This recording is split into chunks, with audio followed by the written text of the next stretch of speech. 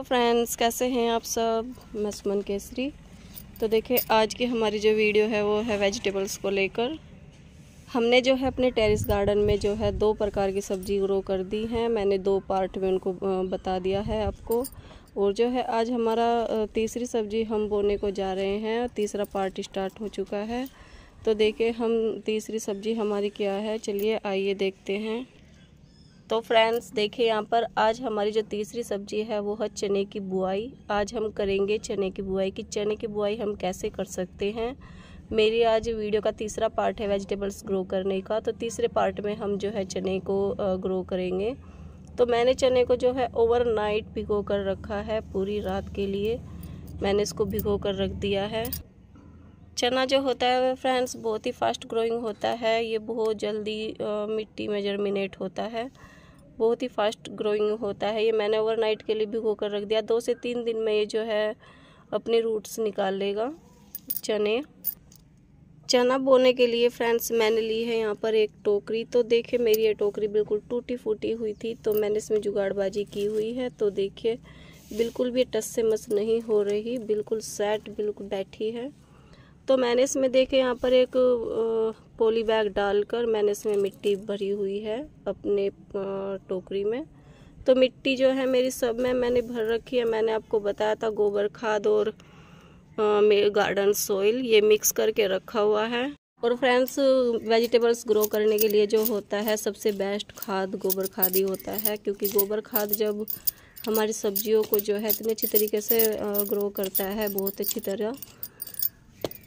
तो मैंने इसको देखे यहाँ पर मिट्टी को ढीला कर लिया है। पानी देकर मैंने अपनी मिट्टी सेट की हुई है। मिट्टी आप देख सकते हो किस तरह से है। तो ये देखिए। तो मैं थोड़ी थोड़ी मिट्टी से एक साइड में कर दूँगी जिससे कि ये इसी पोट में से मुझे एक्स्ट्रा मिट्टी ना लेनी पड़े। क्योंकि हमें जो है इसके ऊपर भी मिट्टी डालनी होती है जब हम चना ग्रो करते हैं। क्योंकि टोकरी मेरी पूरी फिल है मिट्टी से। तो इससे कोई प्रॉब्लम नहीं होगी। तो ऐसे करके आप भी चने की बुआई कर सकते हो बहुत ही आसान तरीके से। और जो ये चना था फ्रेंड्स मेरा इसका जो है पानी मैं इसमें से निकाल दूँगी। तो मैंने जो है पानी इसमें से निकाल दिया है यहाँ पर। अब ये जो चने हैं मैं इसमें से निकाल कर इसमें बुआई करूँगी। यहाँ से। चने की बुआई करना बहुत ही आसान होता है फ्रेंड्स अगर आप ग्रो करना चाहते हो, क्योंकि चने का जो है साग बनता है, साग बहुत अच्छा बनता है इससे। तो ऐसे करके मैंने इसमें डाल दिया है चना।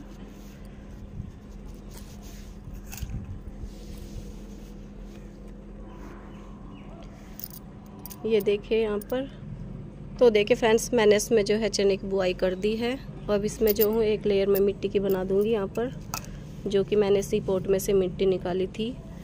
तो ये देखिए जब मिट्टी में दब जाएगा चना, तीन से चार दिन के अंदर जो है मैं आपको इनकी अपडेट दूँगी। जैसे जैसे भी जो भी सब्ज़ी मेरी ग्रो होती है, मैं उनकी अपडेट आपको देती रहूँगी। तो यहाँ पर देखिए चने की बुआई। तो फ्रेंड्स मेरा थोड़ा गला ख़राब है क्योंकि मेरी तबीयत थोड़ी ठीक नहीं है।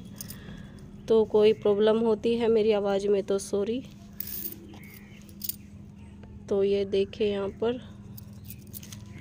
ऐसे में सभी चनों को जो है ऐसे ही ढक दूँगी। तो मेरी मिट्टी के अंदर जो है अभी मॉइस्चर बाकी है तो हमें जो चने की बुआई करते हैं तो हमें मिट्टी के अंदर मॉइस्चर ही चाहिए। हम इसमें वाटरिंग नहीं करेंगे।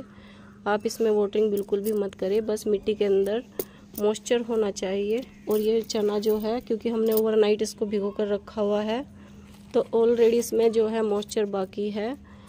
जब हम इसमें ओवरनाइट भिगो कर चने को बोते हैं तो हमें इसमें पानी नहीं डालना होता। अगर आप इसमें ज़्यादा पानी डालोगे तो जो है आप चने, चना जो है आपका गल जाएगा, नहीं चल पाएगा। तो ये देखिए फ्रेंड्स मैंने जो है सब चना जो मैंने बुआई की थी तो मैंने सबको एक जगह वो मतलब कि एक लेयर मिट्टी की इस पर बना दी है, और इसमें बिल्कुल भी चना कोई नहीं दिख रहा है हल्का फुल्का भी। तो आप ऐसे एक लेयर मिट्टी बनाकर थोड़ा इसको प्रेस कर दें। प्रेस इसलिए करना होता है ज़रूरी थोड़ा सा क्योंकि ये मिट्टी जब हम इसको दबाते हैं तो इसमें मॉइस्चर एकदम से नहीं सूखेगा तो धीरे धीरे इसमें से मॉइस्चर सूखेगा। और जिससे कि हम, अगर हम इसको ऐसे ही छोड़ देंगे तो इसका मॉइस्चर एकदम से सूख जाएगा।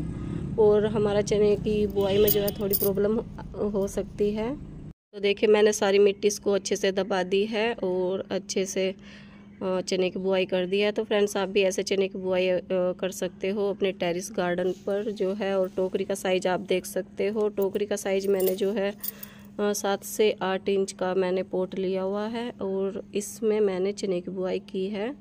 और जो भी फ्रेंड्स मैं अपने पार्ट बताती हूँ पार्ट बना रही हूँ वेजिटेबल्स के तो ये थ्री पार्ट है। तो मैं हर पार्ट में आपको एक अलग से ही अलग अलग टिप्स बताती रहूँगी वेजिटेबल्स को लेकर। तो आज की टिप्स जो है, वो है फ्रेंड्स, हम जो भी कोई सब्ज़ी ग्रो करते हैं तो हमें उनको सिर्फ़ बिल्कुल डायरेक्ट धूप में रखना होता है। ऐसा नहीं कि आप इसको छाँव में रख दें, शेड एरिया में रख दें।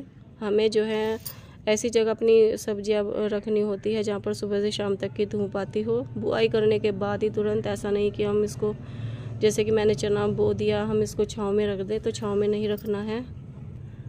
हम अपनी वेजिटेबल्स को जो है बिल्कुल डायरेक्ट धूप में रखना है। तो ये थी फ्रेंड्स चने की बुआई को लेकर मेरी वीडियो अच्छी लगी हो तो फ्रेंड्स मुझे ज़रूर कमेंट कर ज़रूर बताना। लाइक और सब्सक्राइब ज़रूर करना। Okay guys bye